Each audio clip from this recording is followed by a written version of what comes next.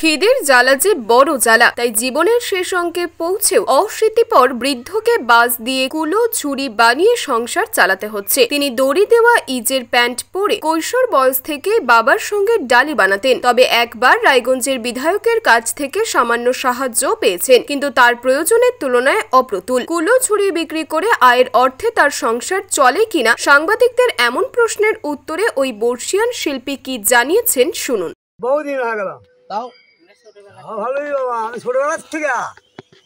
যখন পেন পরে থাকলাম বারো বছর চোদ্দ থেকে চাল খাচ্ছি তখন থেকে। আমি বাবার সাথে এই বাবাই কিনা করছে ঘাট বসে ওই বাবার সাথে সব করছি আমি।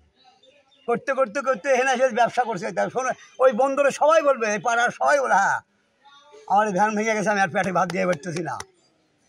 খাব কি দেবো ছেলে। ছেলেরা?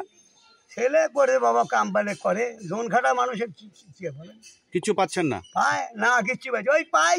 দিছিল যে কৃষ্ণ করে নিয়ে দুই নাড়ি দিয়েছিল আর দুই কেজি চাইলে দিয়েছে আর কয়ে বাসে খরচা দিল কিছু আর আমরা পাইলাম এইভাবে কাজ করে খাওয়া যায় বাবা। বুড়া মানুষের যদি না দেখেন কত বয়স এখন? হ্যাঁ? বয়স কত? বয়স আমার মানে ষাট পঁয়ষট্টি ষাটের পাঁচ এইরকম। কি কি বানাচ্ছেন? ডালি ডুলি বানাই যে ডালি ডুলি সব এই ডালি ছোট ডালি বড় এই যে ছট পুজোর জন্য কি কি বানাচ্ছেন? ওই সব নিয়ে গেল বোমা ওই যে ওই যে। বোমা বিক্রি করে নিয়ে গিয়ে? হ্যাঁ ওই তো। আপনি বানিয়ে দেন বোমা বিক্রি হ্যাঁ, করে? বোমা বিক্রি করে যায় দোকানে দিয়ে আসি বাবা। কত টাকা করে? এক একটা কুলো এবার? এম ঠিক না তিরিশ টাকা দেয় পঁচিশ টাকা দেয়। এগুলো কাজ করে পেটে বাঁচাবো না বাবা আলু সেদ্ধ বাঁচবে না। বিশাল আমি ফিরে দেখেন এই কর্ম করে যে আলু সেদ্ধ ভাত হয় পঞ্চাশ মিটার বাড়ি খাব আমি।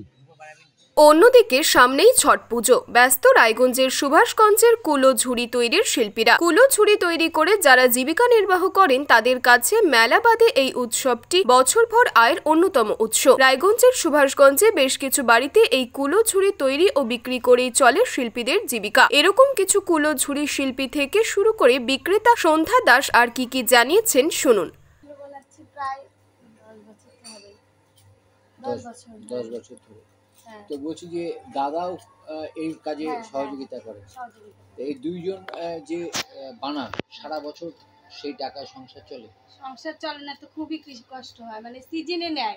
এই পুজো টুজো আছে এখন নিবে। আবার চৈত্র মাস থেকে আবার বন্ধ হয়ে কি যাবে। কি বানান কুলো ছাড়াও?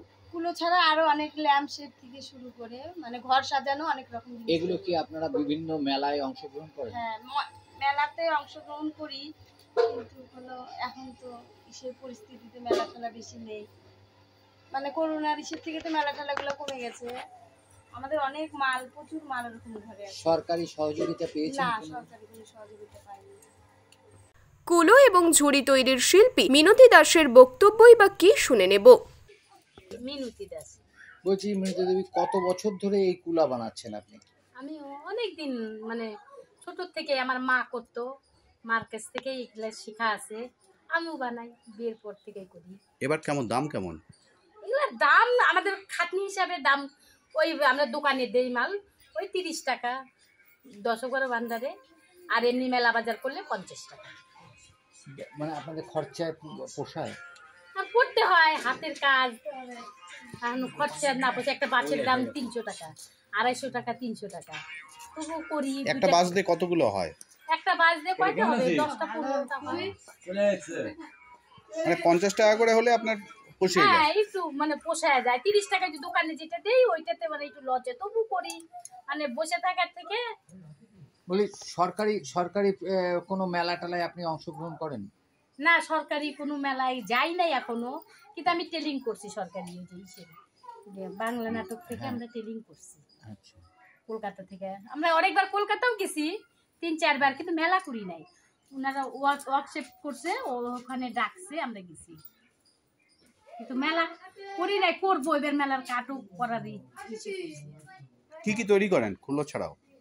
ফুলও ছাড়াও অনেক কিছু ওই যে কুটা তারপরে হচ্ছে ফুলের সাজি তারপরে ছোট ছোট শিল্পী শিল্পী জিনিস করতে পারি।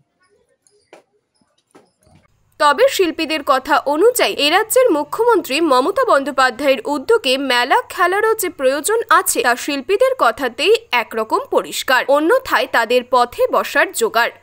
ফোরটিন টাইমলাইন, রায়গঞ্জ, উত্তর দিনাজপুর।